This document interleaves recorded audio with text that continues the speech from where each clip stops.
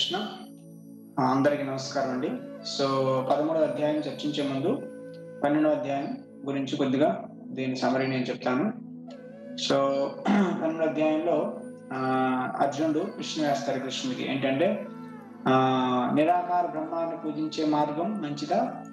లేదంటే నీ వ్యక్తిగత రూపాన్ని పూజించేటువంటి భక్తి మార్గం గొప్పదా? ఈ ఏది గొప్పది చెప్పమంటే అప్పుడు కృష్ణుడు చెప్తాడనమాట నిరాకార బ్రహ్మాన్ని పూజించేటువంటి వాళ్ళు ఆ వాళ్ళ యొక్క ఆ మార్గం అనేది ఎన్నో దుఃఖాలతో ఆ క్లేశాలతో నిండి ఉంటుంది. క్లేశో అధికతర శ్లేషం అవ్యక్త శక్త చేతస. అవ్యక్తాది పితృ దుఃఖం. ఎన్నో దుఃఖాలతో నిండి ఉంటుంది ఎన్నో కష్టాలు పడాల్సి వస్తుంది. సో అంత ఈజీగా ఆ మార్గంలో ముందుకు వెళ్ళడం చాలా కష్టం. ఎందుకంటే రూపం లేనటువంటి ఆ కాంతిని ఆ బ్రహ్మజ్యోతిని పూజించడం అనేది చాలా కష్టం అని చెప్పేసి అంటాడు అనమాట కానీ భక్తి మార్గంలో చాలా సులభంగా భక్తి మార్గం అనేది భక్తి మార్గమే సరళమైనది కాబట్టి తను సులభంగా ఇందులో వ్యక్తి తన గమ్యాన్ని చేరుకోగలడు. భగవంతుడి దగ్గరికి వెళ్ళగలడు అని చెప్పేసి ఈ భక్తి యొక్క గొప్పతనాన్ని స్థాపించిన తర్వాత కృష్ణుడు ఆ చెప్తాడనమాట ఈ భక్తిలో ఈ భక్తిలో రకరకాల లెవెల్స్ ఉంటాయి స్టేజెస్ ఉంటాయి. సో ఒక్కొక్కరు వాళ్ళ యొక్క వాళ్ళు ఉండేటువంటి వాళ్ళకి అనుకూలంగా వాళ్ళు ఉండేటువంటి పొజిషన్ బట్టి వాళ్ళు ఏదో ఒకటి చేయాలన్నమాట. మై మయ్యేవ మన ఆదర్శ మై బుద్ధి నివేశ నివసి మయ్యేవ అని చెప్పేసి అంటున్నాడు అనమాట భగవంతుడు. నీ మనస్సు నా మీద పెట్టు అది చేయలేకపోతే నీ బుద్ధి నీ బుద్ధితో నన్ను ఆలో నా గురించి ఆలోచిస్తూ నా యొక్క లీలను చర్చిస్తూ నా గురించి చర్చిస్తూ శాస్త్రాలు చదివి నీ బుద్ధిని నా మీద పెట్టు అది చేయకపోతే సాధన భక్తి చేయంటున్నాను అనమాట ప్రతిరోజు అభ్యాసం చేయి.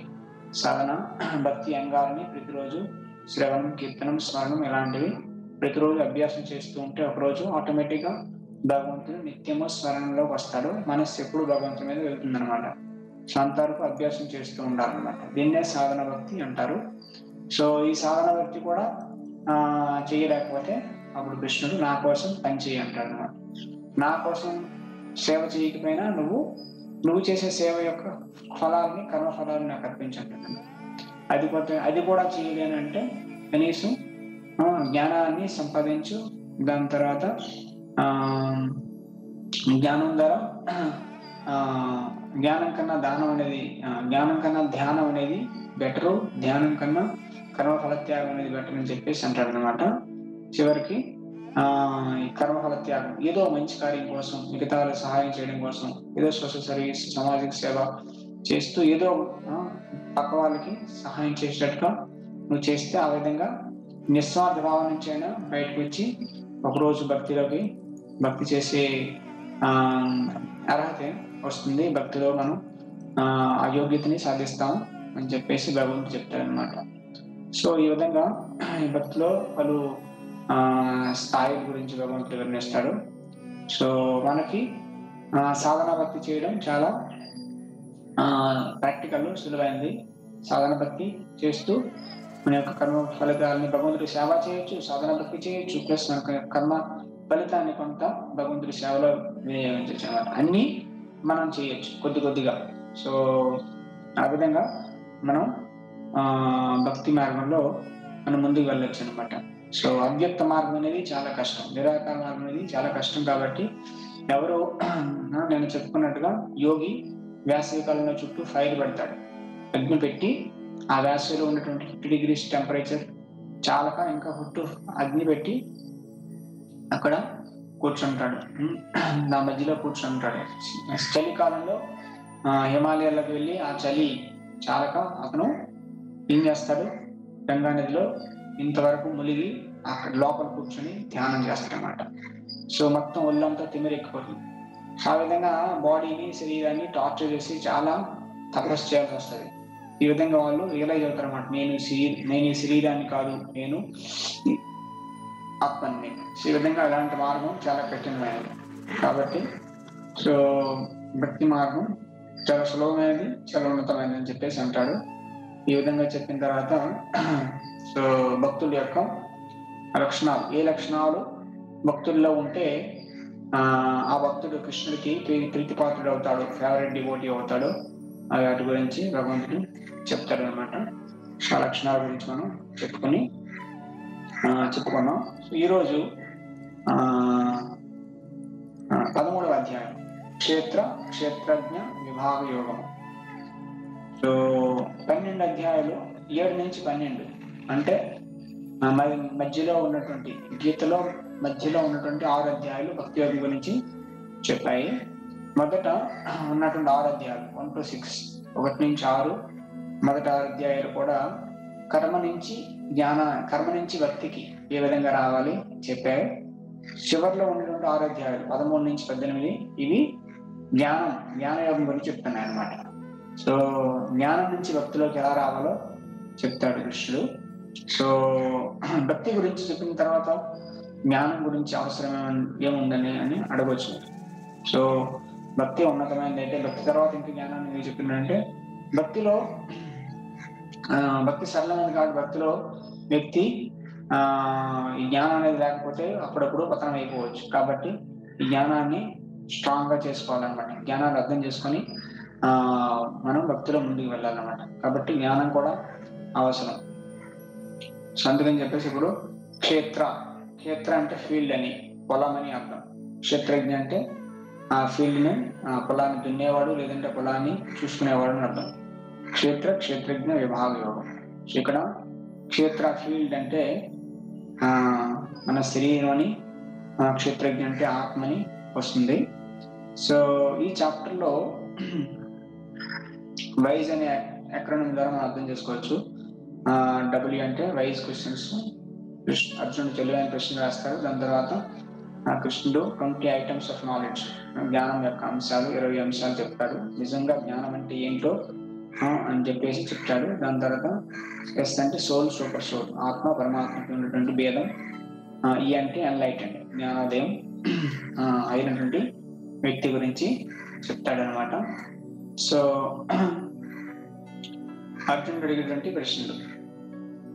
అర్జున ఉవాచ ప్రకృతిం పురుషం చైవ క్షేత్రం క్షేత్రజ్ఞమేవ చ ఏతద్వేదిచామి జ్ఞానం జ్ఞేయం చ కేశవ సో అర్జునుడు అడుగుతున్నమాట ప్రకృతి పురుషం. ప్రకృతి అంటే ఏంటి? పురుష అంటే ఏంటి? క్షేత్రం అంటే ఏంటి? క్షేత్రజ్ఞ అంటే ఏంటి? జ్ఞానం అంటే ఏంటి? జ్ఞేయం అంటే ఏంటి?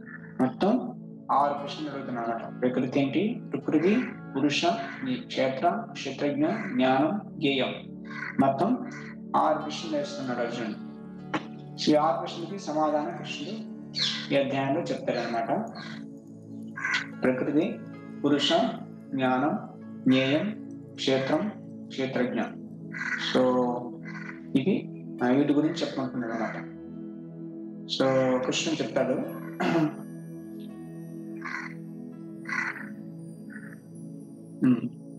సో ప్రకృతి అంటే భౌతిక ప్రకృతి మనకు కనిపించేటువంటి భౌతిక ప్రకృతి. సింపుల్ టర్మ్స్లో చెప్పాలంటే భౌతిక ప్రకృతి. మనకు కనిపించేది ఇది సిస్టమ్ అందరికీ శరీరాన్ని ఇస్తుంది. మన శరీరాలన్నీ భౌతిక ప్రకృతి నుండి వస్తుంది అనమాట పంచమహాభూతాలతో దాని తర్వాత మన బుద్ధి అహంకారాలతో తయారు తయారైంది మన శరీరం. అదేవిధంగా ఈ ప్రకృతిలో నుండి జీవరాశులందరూ కూడా ప్రకృతి నుంచే వాళ్ళ శరీరాలు పొందుతున్నారు. పురుష అంటే ఇక్కడ పురుష అంటే ఎంజాయర్ అని అర్థం. భోక్త అని అర్థం.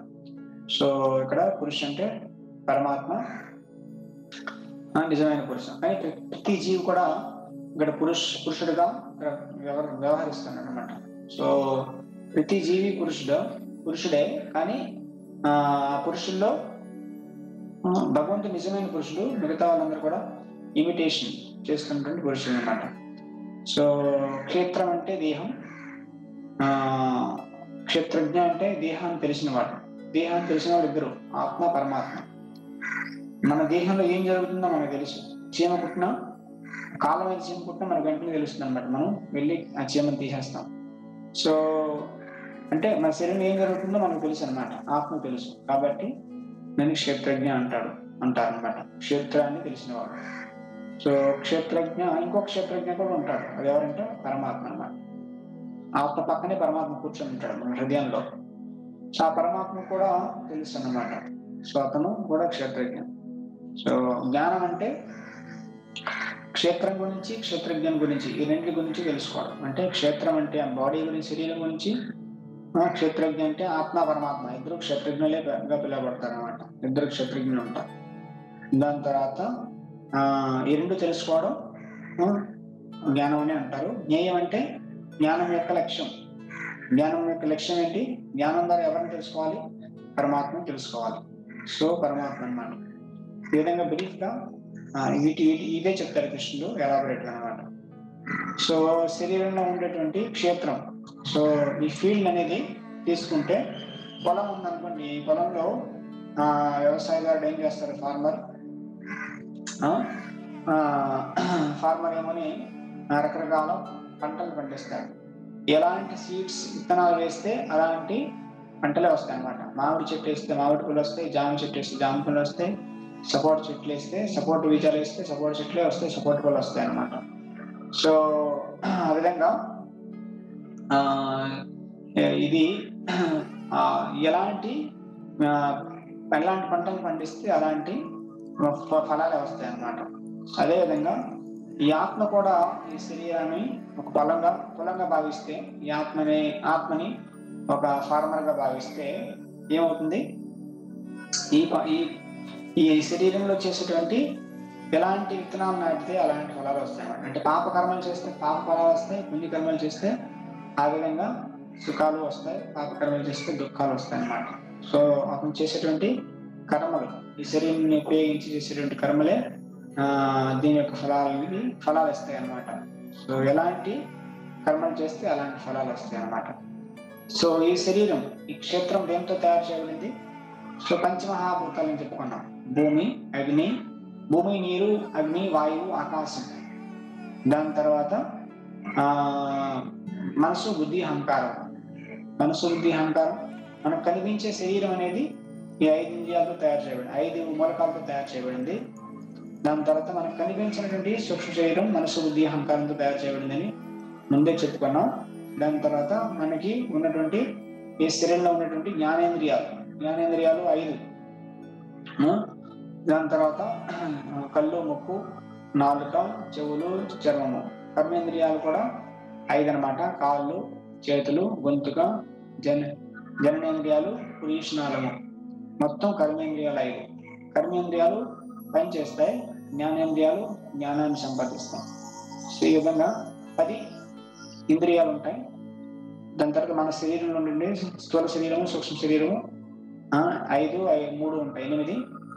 అంతేకాకుండా మనం మన ఇంద్రియాలకి ఇంద్రియ వస్తువులు ఉంటాయి.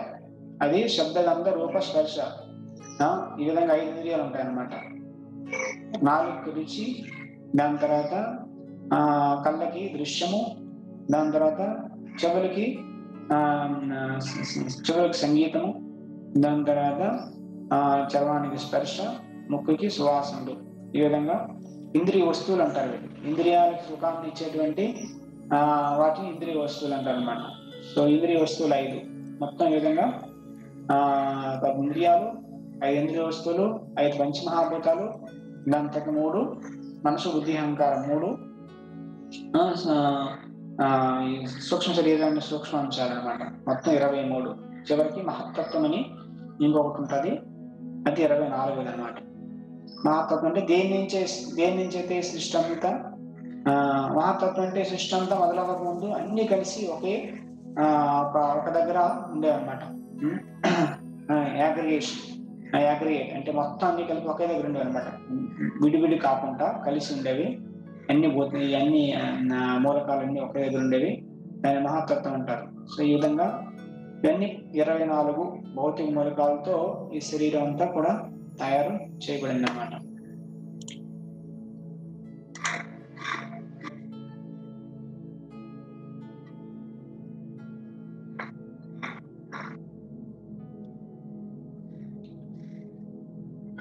శరీరం ఏ విధంగా మార్పుకు గురవుతుందో?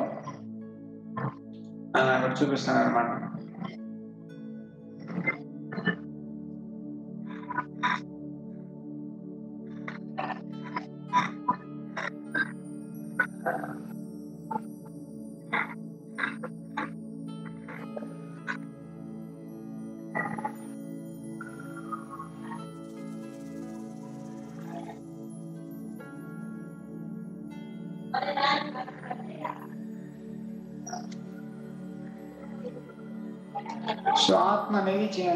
మార్పు లేనిది శరీరం అనేది మార్పు ఉంటుంది సో ఈ విధంగా ఆత్మకి పరమాత్మకి మధ్య నుండి వ్యత్యాసం గురించి మనం ఆ, చాలాసార్లు చెప్పుకున్నాం.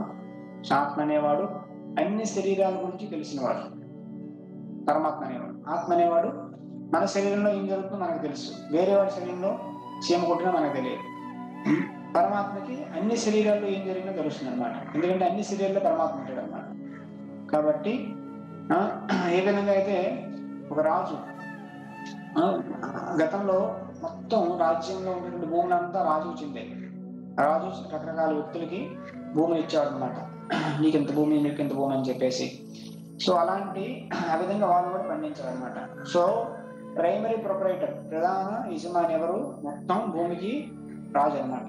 దాని తర్వాత సెకండరీ ప్రొపరేటర్ రెండవ యజమాని ల్యాండ్ లార్డ్ అనమాట ల్యాండ్ ఓనర్ లేదంటే వ్యవసాయదారుడు సో వ్యవసాయదారు పండించేవాడు. కానీ రాజు అంతా రాజు చేతుల్లో రాజు అంటర్లో ఉండేది అనమాట కానీ వీళ్ళందరూ కొద్ది కొద్దిగా అందరికి కొద్ది కొద్ది భూమి ఇచ్చేవారు అనమాట వాళ్ళందరూ పండించుకునేవారు అనమాట సో వాళ్ళు నా భూమి అనుకునేవారు. కానీ వాళ్ళది కూడా ప్లస్ రాజు అసలు రాజు ప్రైమరీ ప్రొపరేటర్ అనమాట రాజు వాళ్ళకి ఇచ్చాడు కాబట్టి. సో ఈ విధంగా ప్రతి భగవంతుడు ప్రతి జీవికి ఒక్కొక్క శరీరం ఇచ్చాడు. భగవంతుడు అన్ని శరీరాల్లో మళ్ళీ ఉన్నాడు అనమాట ప్రతి ఆ- అతని యొక్క శరీరం ఏం జరుగుతుందో తెలుసు. భగవంతుడు మాత్రం అన్ని శరీరాల్లో ఏం జరుగుతుందో తెలుసు అనమాట కాబట్టి ఆ ఈ విధంగా భగవంతుడు సర్వజ్ఞుడు. అంతా తెలిసిన వాడు ఆత్మ అనేవాడు ఆ సర్వజ్ఞుడు కాదు. అతను సేవకుడు. సో ఈ కర్మక్షేత్రంలో ఇరవై నాలుగు మూలకాలు ఉంటాయి ఇందులో రకరకాల మార్పులు చెందుతుంటాయి. కోరికని ద్వేషమని సుఖమని దుఃఖమని దాని తర్వాత జ- రకరకాల జీవ లక్షణాలు రకరకాల మార్పులు ఆ, పుట్టుక పెరుగుదల వృద్ధాప్యం ముసలితనం చావు ఇలాంటి మార్పులన్నీ వస్తుంటాయి ఈ క్షేత్రంలో.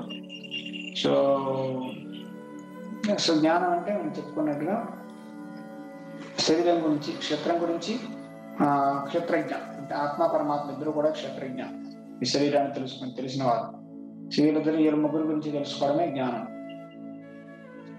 సో జ్ఞానం యొక్క అంశాలు కృష్ణుడు చెప్తాను నిజమైనటువంటి జ్ఞానం ఏంటో కృష్ణుడు ఇక్కడ చెప్తాడనమాట సో నేను ఒక వీడియో చూపిస్తాను.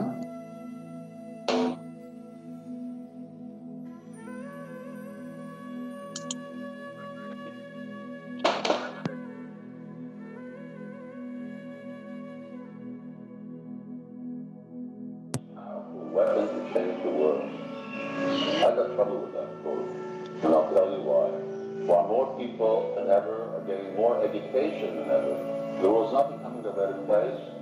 People are not becoming better people. Or happier so Shivraj Raj Krishna Prabhupada గారి శిష్యులు అనమాట హంగరీలో ఉంటారు. సో అతను అంటున్నారు మీరు చదువుకుంటున్నారా? లేదంటే చదువుకోబోతున్నారా?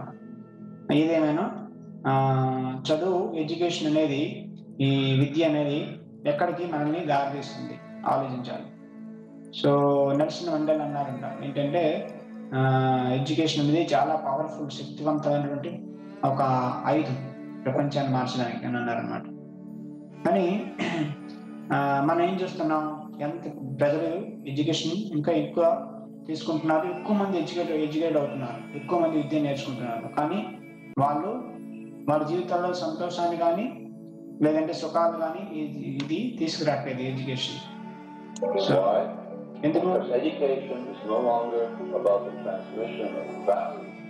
So education అనేది బ- మనిషికి కా- కావాల్సిన విలువల గురించి చెప్పట్లేదు ఏం చెప్తుంది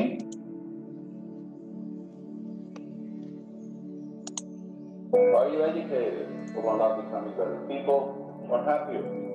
Why? Because education is no longer about the transmission of values. It's about an exclusive transmission of information. The novelist C.S. Lewis expressed this well when he said, Education without values, as useful as it is, seems rather to make man a more clever devil. Who has to do it? Militia and that శ్రీతం novelist ఒకతను చెప్పాడు అనమాట education అనేది ఆ, మనిషిలో మార్పును తీసుకురాకపోతే వాడు ఇంకా పెద్ద భయంకరమైన దెయ్యంలో తయారవుతాడని చెప్పేసి అన్నాడు అనమాట education. Humility, privateness, non-violence, tolerance, simplicity, cleanliness, self-control, renunciation, accepting, goods, self-realization, and the search for the absolute. There's a lot in every one of those values, like self-control. How much are you in control of your senses and your mind? Can you control your tongue and eat what's healthy, non-violent, environmentally friendly? Think about these ten values, study them, and try to apply them to your life. They will add value to your education, but make sure your education speaks to your knowledge and not. And if you finish school, there's still time to enrich life with values. Our whole life is about education, and the real examination comes at the end. So it's never too late to be learned the things that count.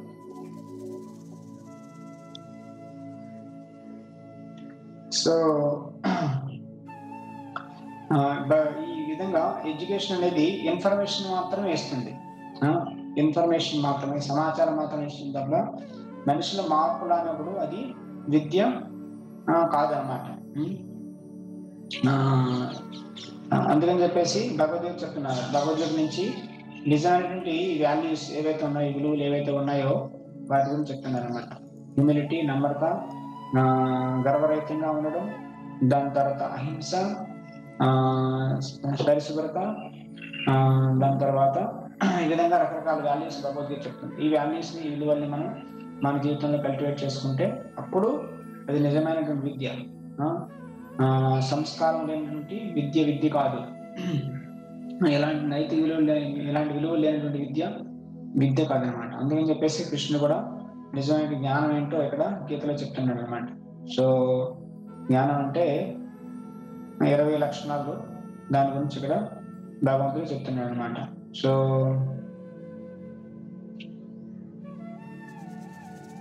వినమ్రత. మొదటిది వినమ్రత. అంటే నమ్రతా భావంతో ఉంటాడనమాట తెలివైన వాడు ఎప్పుడు గర్వంతో ఉండడు అనమాట చెట్టు ఎంత ఎక్కువ పళ్ళు పళ్ళని కలిగి ఉంటే అంత ఉంగి ఉంటుంది.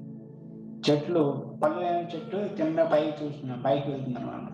సో ఈ విధంగా వ్యక్తి ఎన్ని మంచి లక్షణాలు కలిగి ఉంటే అంత వినమ్రతతో ఉంటాడనమాట. తన గురించి తను బోస్ట్ చేసుకోవడం గర్వంగా చెప్పుకోవడం ఎప్పుడు చేయరనమాట.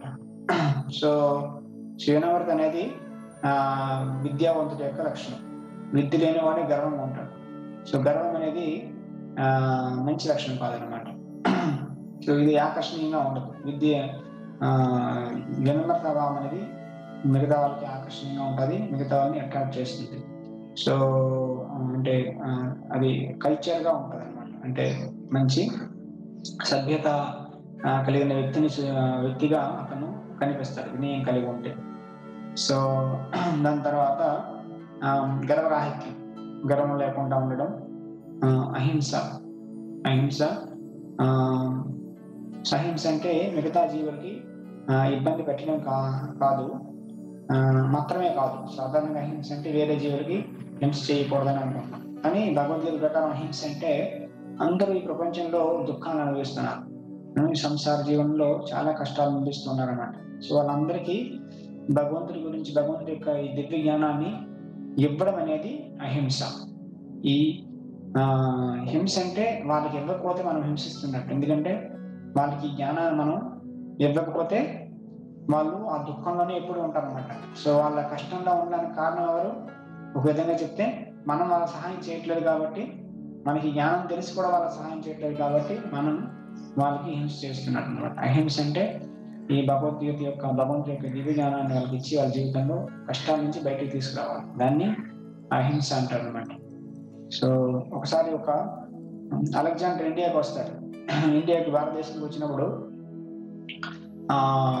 ఒక సాధువు దగ్గరికి వెళ్తారనమాట వెళ్ళి అడుగుతారనమాట కోపం అంటే ఏంటి? వినమ్రత అంటే ఏంటి? అని అంటాడు అనమాట కోపం అంటే ఏంటి? వినమ్రత అంటే ఏంటి అంటున్నాను సో చెప్పండి అంటే సాధు అంటున్నాడు అనమాట get out of your rascal అంటాడు.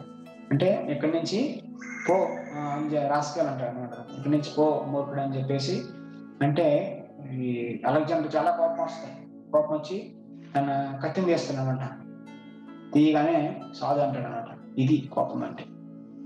సో అచ్చా అప్పుడు అలెగ్జాండర్ తెలుస్తుంది అనమాట తెలుసుకుని వెంటనే ఓ క్షమించండి నాకు చెప్పడం కోసం ఇలా చేశారని చెప్పేసి వెంటనే ప్రణామం చేస్తాడు అనమాట ప్రణామం చేసి ప్రణామం చేసి క్షమించండి ఇలా మీ మీద కోపాటం దీన్ని వినమ్మర్ అంటాడని చెప్పేసి అంటాడు అనమాట సో ఆన్ ద స్పాట్ ఆ సాధన చూపిస్తారనమాట కోపం అంటే ఏంటో వినమ్రత అంటే ఏంటో. సో ఈ విధంగా అహింస సహనం ఓర్పు ఉండాలి. ఓర్పు అంటే సహనం అంటే మనం భర్తీ చేసేటప్పుడు చాలా మంది దానికి ఆటంకాలు పెట్టడానికి ఇబ్బందులు పెట్టడానికి ప్రయత్నిస్తుంటారు. కాబట్టి వీటన్నిటిని సహనంతో ఆ భరించాలి. ప్రహ్లాదుడు భర్తీ చేయాలనుకుంటాడు. ఐదు సంవత్సరాల ప్రహ్లాదుడికి ఎన్నో ఇబ్బందులు వస్తాయి. తన తండ్రి చంపాలని ఎన్నో విధాలుగా ప్రయత్నిస్తారు అనమాట అయినప్పుడు కూడా ప్రహ్లాదుడు ఎలాగా డిస్టర్బ్ అవ్వకుండా కలకి చెందకుండా వాటన్నిటిని ఆ ఓర్పుతో సహిస్తాడు. దాని తర్వాత సరళత్వం. సరళత్వం అంటే ఆ నిజాన్ని సత్యాన్ని ఎవరి దగ్గర రాయకూడదు అనమాట స్ట్రైట్ ఫార్వర్డ్గా సింపుల్గా ఉండాలి డూప్లిసిటీ అనేది ఉండదు అనమాట కన్నింగ్నెస్ డూప్లిసిటీ ఇది ఉండకుండా సింపుల్గా ఇంకా శత్రువు ముందైనా నిజాన్ని చెప్పడానికి తయారై ఉంటాడు అనమాట సరళమైనటువంటి వ్యక్తి. సో అతని దాయడం ఉంటే ఏమీ తెలియదు అనమాట సరళత్వం. దాని తర్వాత బ్రాహ్మణుడైన ఆధ్యాత్మిక ఆచారాన్ని ఆశ్రయించి సేవించటం. గురు పాదాశ్రయం. సో గురువు యొక్క ఆశ్రయాన్ని తీసుకోవడం. ఆశ్రయం గురువు ఆధ్యాత్మిక ఆచార్యం. ఎవరో సరైనటువంటి గురువు. గురువు గురించి మనం ముందు కూడా చెప్పుకున్నాం. పరంపరలో వస్తున్నటువంటి గురువు యొక్క ఆశ్రయం గురువుని ఆశ్రయించి సేవించటం అతను చెప్పినటువంటి మన జీవితంలో ఆచరించటం. దాని తర్వాత శౌచం. శౌచం అంటే క్లీనినెస్ పరిశుభ్రత శుభ్రత అని అర్థం. సో శుభ్రత రెండు రకాల పరిశుభ్రత ఉంటుంది రెండు రకాల క్లీన్నెస్ ఉంటాయి. ఒకటేంటే లోపల అంతర్గత శుభ్రత రెండోది బహిర్గత శుభ్రత. బహిర్గత శుభ్రత కోసం మనం ప్రతిరోజు స్నానం చేయాలి రెండు పూటలు ఉదయం సాయంత్రం. సో ఈ విధంగా మన శరీరాన్ని శుభ్రంగా ఉంచుకుంటాం. సో మన ఈ నీరు అనేది మన శరీరాన్ని శుభ్రం చేయదు. మన ఆత్మను కూడా శుభ్రం చేస్తుంది అనమాట నీటికి ఆ కెపాసిటీ ఉంటుంది అనమాట సో కాబట్టి శుభ్రత అనేది కూడా జ్ఞానం అనమాట కొంతమంది స్టూడెంట్స్ హాస్టల్లో ఉంటారు. కాలేజ్ ఎనిమిది గంటలకైతే సెవెన్ ఫిఫ్టీకి లేచి అలాగా కళ్ళు తులుసు తులుసుకొని బ్రష్ చేసేసి వెళ్ళి సెవెన్ థర్టీ లేస్తారు బ్రష్ చేసేసి ఐదు నిమిషాలు బ్రష్ చేసేసి వెళ్ళి మెస్లో ఫుడ్ తినే బ్రేక్ఫాస్ట్ తినేసి తిన్న కాలేజ్ వెళ్ళిపోతారు అనమాట ఏ బట్టల మీద పడుకున్నారో ఆ బట్టలతోనే కాలేజ్ వెళ్ళిపోతారు. మరి స్నానం లేదు ఏమీ లేదు ఏమీ లేకుండా వెళ్ళి క్లాస్ ఉంటారు అనమాట సో అది విద్య అనమాట అది ఆ విధంగా ఎవడు కాలేజీకి వెళ్తే ఎవడు అడుగుతాడు నువ్వు స్నానం చేసావా లేదా? నువ్వు ఏం తిన్నావు? నువ్వు ఎలా తిన్నావు? ఇవన్నీ ఎవడు పట్టించుకోండి అనమాట వాడు ఇచ్చాడా లేదా డాక్టర్ అదే గొప్ప అనమాట వస్తే అదే చాలా ఏదో ఘనకార్యం చేసినట్టు ఉంటారు అనమాట కానీ వైద్య సంస్కృతిలో అలా కాదనమాట వైద్య సంస్కృతిలో టీచర్ అనేవాడు మొత్తం హోల్ లైఫ్ చూసేవాడు. వీడు ఏం చేస్తున్నాడు? ఎప్పుడు నీళ్ళు వేస్తున్నాడు వీడు అలవాట్లు ఏంటి? అన్నీ చూసుకుంటాడు అనమాట కానీ ఈ రోజుల్లో పర్సనల్ లైఫ్ గురించి టీచర్కి వీడికి సంబంధం లేదనమాట వాడు వస్తున్నాడు క్లాస్లో కూర్చున్నాడు. వాడు వింటున్నాడా లేదు కూడా అవసరం లేదనమాట సో ఆ విధంగా అంతా కమర్షియలైజ్ అయిపోయింది. కానీ గురుకుల సిస్టంలో ఇలా కాదన్న గురువు వ్యక్తిగతంగా విద్యార్థి యొక్క వాడు చక్కగా పెరిగేటట్టుగా మంచి విలువలతో పెరిగేటట్లుగా చూసుకునేవాడు అనమాట కాబట్టి గురుకుల నుంచి వెళ్ళే ఇంటికి వెళ్ళేటప్పుడు ఇరవై సంవత్సరాలు అయిన తర్వాత ఎప్పుడైతే స్టూడెంట్ బ్రహ్మచారి ఇంటికి వెళ్తాడో చాలా హై క్వాలిటీ హై క్యారెక్టర్తో ఇంటికి వెళ్తాడు అనమాట సో దానివల్ల పేరెంట్స్ చాలా ఆనందపడేవారు అనమాట చాలా విద్య నేర్చుకున్నాడు మంచి లక్షణాలు కలిగి ఉన్నాడు మంచి నమ్రతాభావంతో వచ్చాడు. దాని తర్వాత పేరెంట్స్కి రెస్పెక్ట్ఫుల్గా ఉంటాడు పేరెంట్స్ని గౌరవిస్తాడు పేరెంట్స్ని వాళ్ళ ప్రేమతో ఆదరిస్తాడు వారి సేవ చేస్తాడు దాని తర్వాత సమాధానం సేవ చేస్తాడు అందరికి హెల్పింగ్ నేచర్ ఉంటది. సో ఈ విధంగా అన్ని రకాలుగా వ్యక్తి చాలా ఆకర్షణీయంగా ఉంటాడు అనమాట నిస్వార్థపర నిస్వార్థతో ఉంటాడు కాబట్టి చాలా ఆకర్షణీయంగా ఉంటాడు అనమాట కానీ ఈ రోజుల్లో స్కూల్కి వెళ్ళిన కాలేజ్కి వెళ్ళినప్పి వాడు డ్రగ్స్ తీసుకుంటాడా లేదంటే చెడు అలవాట్లను నేర్చుకుంటాడా ఎలాంటి ఎలాంటి ఎలాంటి సంబంధాలు ఎవరితో పెట్టుకుంటాడో తెలియదు అనమాట సో టీచర్స్ ఎవరు పట్టించుకోరు. వాళ్ళ ఇంటి దగ్గర నుంచి దూరంగా ఉంటారు కాబట్టి వాళ్ళ మైండ్ అన్ని ఇంద్రియాలు కంట్రోల్ ఉండవు కాబట్టి అది ఏం చేస్తుంటారో తెలియదు కాబట్టి పిల్లవాడు పూర్తిగా పాడై వస్తాడనమాట కానీ ఏదో జాబ్ మాత్రం సంపాదిస్తాడు. సో దా అదని చెప్పి అది వచ్చింది చెప్పేసి అందరూ సంతోషిస్తారు అనమాట కానీ వాడి జీవితంలో విలువలు ఉండవు కాబట్టి పెద్ద అయిన తర్వాత వాడి పేరెంట్స్ పట్టించుకోడు లేదంటే ఆ వైఫ్ ఎలా డీల్ చేయాలో తెలియదు. హస్బెండ్తో ఆడవాళ్ళు అయితే హస్బెండ్ ఎలా డీల్ చేయాలో తెలియదు. సో ఈ విధంగా మోడర్న్ ఎడ్యుకేషన్ సిస్టంలో ఆ పర్సనల్ లైఫ్లో ఈ విధంగా ఆ వ్యక్తి చక్కగా నడవడిక ఇవన్నీ ఏ విధంగా ఉండాలో అవి ఇప్పుడు ఎవరు నేర్పరు కాబట్టి అందరూ జస్ట్ అంటే ఇంజనీర్ అని లేదంటే డాక్టర్ అని లేదంటే లాయర్ని జస్ట్ విద్యను నేర్చుకుంటున్నారు. యంత్ర విద్య అంటారు దీన్ని. యంత్ర విద్య అంటే జస్ట్ మనం కడుపు నింపుకోవడానికి దాన్ని పోషించుకోవడానికి వాళ్ళు క్యాపబుల్ అవుతున్నారు అనమాట అంతే. దాని తర్వాత సమాజంలో ఏ విధంగా చక్కగా బతకాలి జీవితం అంటే ఏంటి వీటి గురించి దేవుడి గురించి కానీ భక్తి గురించి కానీ ఇవేమీ తెలియదు అనమాట ఆ విధంగా ప్రతి ఒక్కరు డబ్బు డబ్బు డబ్బు అని చెప్పేసి డబ్బు వెనక పెరుగుతున్నారు అనమాట చివరికి వాళ్ళ తల్లిదండ్రుల గురించి పట్టించుకోరు ఆ, భార్య పిల్లల గురించి పట్టించుకోరు. ఆ విధంగా ఏ విధంగా గురువు అవ్వాలో తెలియదు అనమాట వాళ్ళకి సంస్కారం లేదు కాబట్టి వాళ్ళ పిల్లలు కూడా సంస్కారం లేకుండా తయారవుతారు అనమాట సో ఆ విధంగా ఏ విధంగా అయితే వెస్ట్లో అమెరికా మిగతా దేశాల్లో కల్చర్ లేకుండా ఫ్యామిలీ కల్చర్ కానీ ఏమీ లేకుండా తయారవుతుంది. ఆ విధంగా ఇండియన్స్ కూడా ఇమిటేట్ చేస్తున్నారు అనమాట సో ఆ విధంగా ఈ రోజుల్లో ఇండియా కూడా అలా తయారవుతుంది. కానీ వైదిక సంస్కృతి అలా కాదనమాట గురుకుల సిస్టంలో అంతా చక్కగా చూసుకునేవారు అనమాట గురువు గారు విద్యార్థి చాలా చక్కగా గ్రో అయ్యేటట్టుగా రెస్పాన్సిబిలిటీ తీసుకునేవారు అనమాట అందుకని బ్రిటిషర్స్ ఎప్పుడైతే ఇండియా వచ్చారో వాళ్ళు చూసారనమాట ఈ గురుకుల సిస్టమ్ అనేది చాలా పవర్ఫుల్ ఈ గురుకుల సిస్టమ్ ఉన్నంత కాలం ఇండియా చాలా బాగుపడిపోతుంది దీన్ని ఎలాగైనా బ్రేక్ చేయాలని చెప్పేసి వాళ్ళు టీచర్స్కి శాలరీస్ ఇంట్రడ్యూస్ చేశారు. శాలరీస్ అంటే టీచర్స్ ఇలా మీరు వాళ్ళు టీచర్స్ ఏం చేశారు పేదవాడు అయితే పది రూపాయలు ఇచ్చాడు ధనవంతుడు అయితే వంద రూపాయలు ఇచ్చాడు గురుదక్షిణ గురు దక్షిణ. సో వాళ్ళు అందరూ వాళ్ళు వాళ్ళ స్థాయిని బట్టి ఇచ్చేవారు. వాళ్ళు ఎవరైనా తీస్తే దాంతో సంతోషపడేవారు అన్నమాట గురువు గురువు. కానీ వీళ్ళు శాలరీ సిస్టమ్ చేసి చేసి ఇది చేసి వచ్చేయడం వల్ల గురువుకి శిష్యుల మధ్య సంబంధం పోయింది. వాళ్ళు గురువు పట్ల గ్రాటిట్యూడ్ అనుకో నేను పే చేస్తున్నా నేను కొనేసాను అనుకుంటాను అనమాట ఈ విధంగా ఎడ్యుకేషన్ సిస్టమ్ అంతా పూర్తిగా ఇన్స్టిట్యూషన్ అయిపోయింది కాబట్టి అందరికీ సరైనటువంటి విద్య లేకుండా అవుతుంది అనమాట సో అందుకని చెప్పేసి ఈరోజు గవర్నమెంట్ చాలా కాలేజెస్లో చాలా స్కూల్స్లో value education value education value education అంటుంది అనమాట సో వాల్యూ ఎడ్యుకేషన్ అంటే ఎవరికి ఇంట్రెస్ట్ ఉండట్లేదు. గవర్నమెంట్ కూడా పెట్టాలనుకుంటుంది వాల్యూ ఎడ్యుకేషన్ మనం వాల్యూస్ చెప్పట్లేదు జనాలకి. జస్ట్ యంత్ర విద్య నేర్పిస్తున్నాం. ఏ విధంగా కంప్యూటర్ ఆపరేట్ చేయాలో అది ఒక్కటే. వాడి జీవితంలో కంప్యూటర్ ఎలా ఆపరేట్ చేయడం ఒక్కటే తెలుసు అనమాట ఇంకా వేరేది ఏమీ తెలియదు. సో వాడి సమాజంలో బతకడం అంటే చాలా కష్టం ఉంటుంది అనమాట అందుకని ఈ రోజు స్టూడెంట్స్ చాలా మంది ఆత్మహత్య చేసి తీసుకు- చేసుకుంటారు లేదంటే చెడు అలవాట్లు గురవుతుంటారు లేదంటే వాళ్ళ జీవితంతో ఎలా వాళ్ళ జీవితాన్ని హ్యాండిల్ చేయాలో ఆ, మిగతా వ్యక్తులకి ఎలా హ్యాండిల్ చేయాలో తెలియదు అనమాట అందువల్ల వాళ్ళు ఎవరికైనా మంచి రిలేషన్షిప్స్ ఉండవు. స్నేహాన్ని పెట్టుకోరు చిన్న స్నేహితులు సరిగా ఎవరితో సరిగా వాళ్ళు డీల్ చేయడం తెలియదు అనమాట ఎందుకంటే సహనం కానీ లేదంటే నిస్వార్థత కానీ సర్వత్వం కానీ ఏమి ఉండవు అనమాట వీళ్ళు ఈ లక్షణాలు లేకపోవడం వల్ల వాళ్ళ జీవితం అంతా అయోమయమై ఆ, చాలా ఆ, క్లిష్టంగా మారిపోతుంది అనమాట అందుకని చెప్పేసి శౌచం అంటే రెండు పూటలు స్నానం చేయాలి ఉదయం సాయంత్రం. స్నానం అనేది చాలా ముఖ్యం. స్నానం చేయని వ్యక్తి మనిషే కాదు అసలు. వాడు జంతువు అనమాట సో జంతువులు స్నానం చేయరు. కుక్కలు కానీ లేదంటే పిల్లలు కానీ పందులు కానీ ఏం స్నానం చేయాల్సిన అవసరం లేదనమాట తెల్లవారేస్తే అవి తిరుగుతుంటాయి. ఫుడ్ కోసం లేదంటే మిగతా శరీర అవసరాల కోసం. కానీ సౌత్ శౌచం అనే మనస్సు మనిషి ఎప్పుడైతే స్నానం చేస్తుందో వాడి మనస్సు కూడా శుభ్రంగా అవుతుంది అనమాట సో బహిరంగంగా స్నానం చేసి క్లీన్గా ఉండాలి. క్లీన్గా లేకపోతే చెడు ఆలోచనలు వస్తాయి.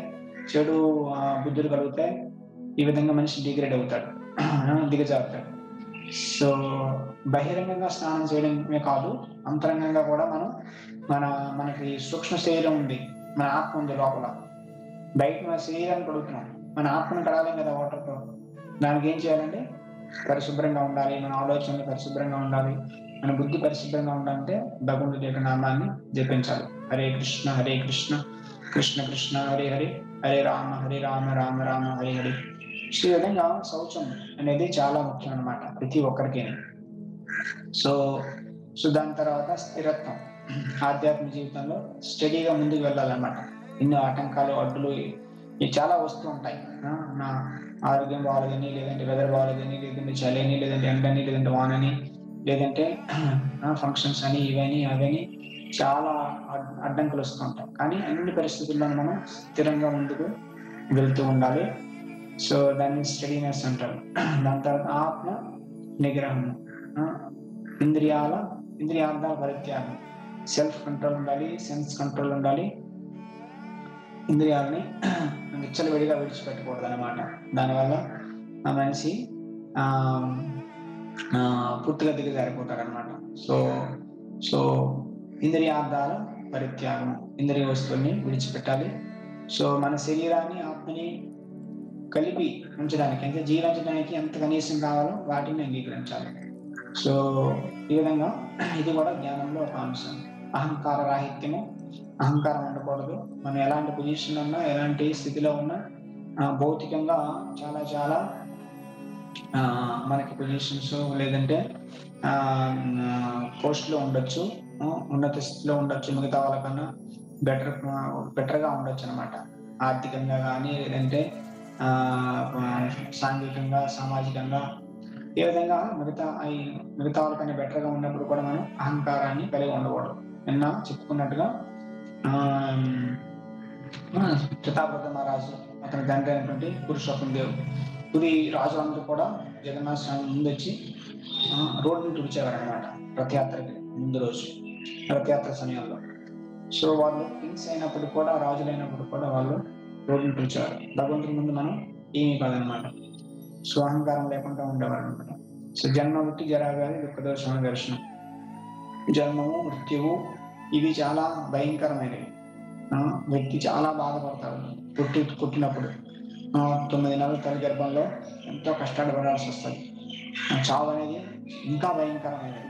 ఎందుకంటే మొత్తం తనను సంపాదించినవి తనకు తను ఏర్పరచుకున్న సంబంధాలు అన్నీ కట్ అయిపోతాయి. కాబట్టి ఇది ఇంకా చాలా బాధనిస్తుంది అనమాట సో జర ముసలితనము ఎవరు వద్దనుకుంటారు కానీ ముసలితనంలో ఆ బాధన్ని పడాల్సి వస్తుంది ప్రతి ఒక్కరికి. దాని తర్వాత జీవితాంతం వ్యాధులు వస్తుంటాయి.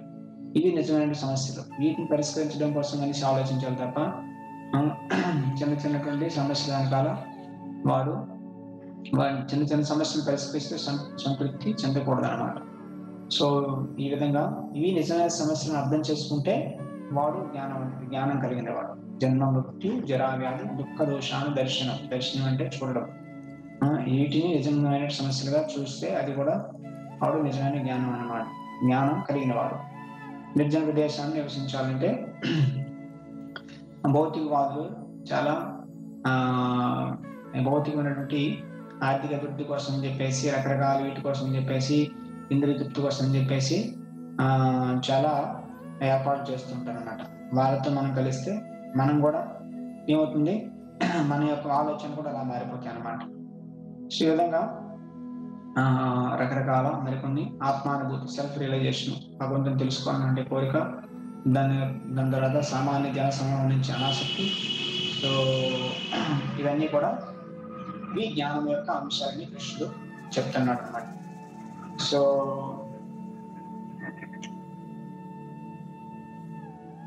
సో వీటన్నిటిలో ప్రధానమైనది అన్న అనన్య యోగేన భగవంతుడికి శరణాగతం అవ్వడం అనేది అతి ముఖ్యమైనటువంటి జ్ఞానం యొక్క లక్షణం.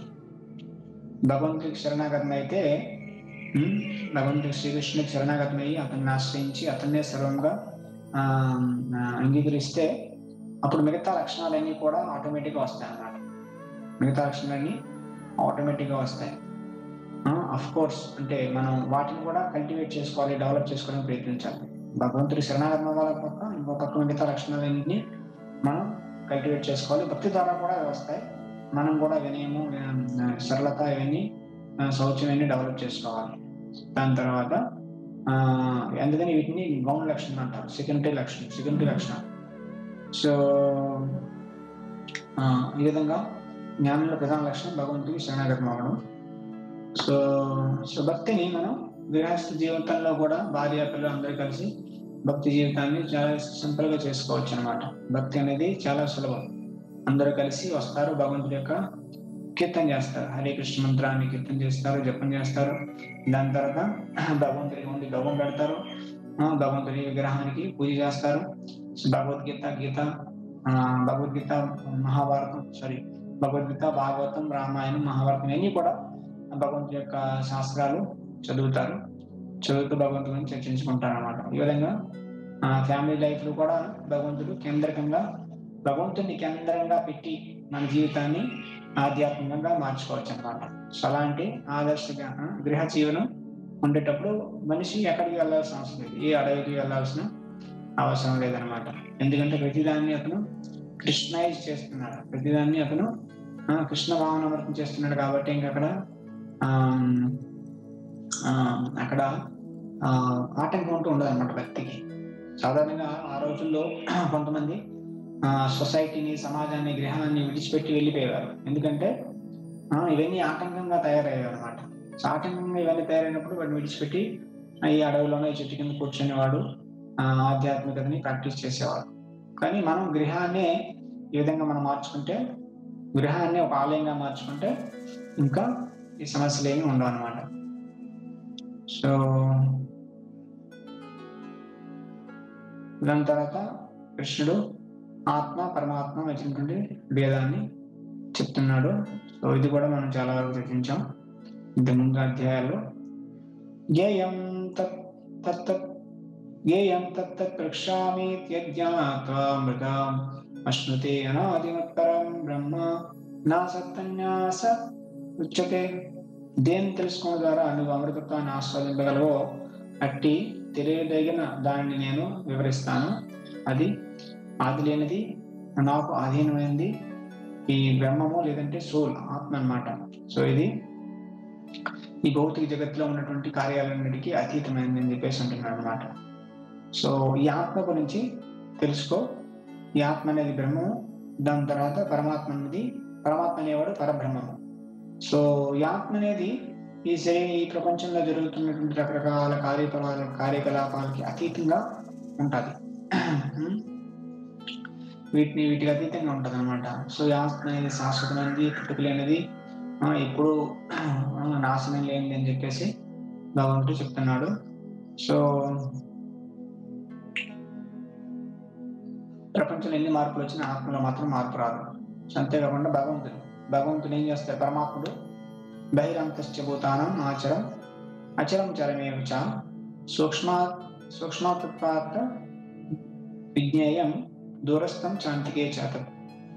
పరమాత్ముడు స్థావర జంగములైన సర్వజీవుల్లో ప్రతి జీవుడి యొక్క హృదయంలో ఆ, కదిలేవి కదలని యొక్క జీవుల హృదయాల్లో ఉన్నాడు. సో అతడు చాలా దూరంగా ఉంటాడు చాలా దగ్గరగా కూడా ఉంటాడు అని చెప్పేసి అంటున్నాడు అనమాట అతను తెలుసుకున్నాడు ఆ అతడు భౌతిక ఇంద్రియాల శక్తి చేసే చురుకు కానీ తెలుసుకోండు కానీ ఆ కష్టం అనమాట భగవంతుని భౌతికమైన ఇంద్రియాల ద్వారా మనం తెలుసుకోలేము పరమాత్మని. అంతటా వ్యాపించి ఉంటాడు. ఎందుకంటే ప్రతి జీవుల హృదయంలో పరమాత్మ ఉంటాడు? బయటని కూడా ఉంటాడు అనమాట సో కాబట్టి మన ఇంద్రియాల ద్వారా పరమాత్మని తెలుసుకోలేము. సో తర్వాత ఆ, గీతలో కృష్ణ చెప్తున్నాడు అనమాట ఏంటంటే సర్వతో పాని తత్ సర్వతో క్షీ శిరోముఖం సర్వదా శృతిమల్లోకే సర్వం ఆవృతం తిష్టతి సర్వేంద్రియ గుణావిషం సర్వేంద్రియ వివర్జితం అసక్తం సర్వభృచ్చైవ నిర్గుణం గుణ భోక్తు భోక్తృ భోక్తృచ అతని యొక్క పాదాలు కాళ్ళు చేతులు దగ్గర ఉన్నాయి. అతని యొక్క కళ్ళు తలలు ప్రతి దగ్గర ఉన్నాయి అతని యొక్క చెవులు ప్రతి దగ్గర ఉన్నాయి. ఈ విధంగా సర్వవ్యాపి అయి ఉన్నాడు? అంతేకాకుండా అన్ని ఇంద్రియాలకు అతనే అతని నుంచే వస్తున్నాయి. అన్ని గుణాలకి అతను గుణాలకి అతీతమైన వాడు అని చెప్పేసి పరమాత్మ యొక్క చెప్తున్నాడు. బహిరంతశ్చపోతానం అచరం చరం ఏవచ. జీవులకి బయట ఉన్నాడు లోపల ఉన్నాడు. అన్నిటికన్నా చిన్న అన్ని చిన్న చిన్నదానికన్నా చిన్నమైన చిన్నవాడు అనమాట సూక్ష్మ సూక్ష్మాత్మత్ విజ్ఞేయం.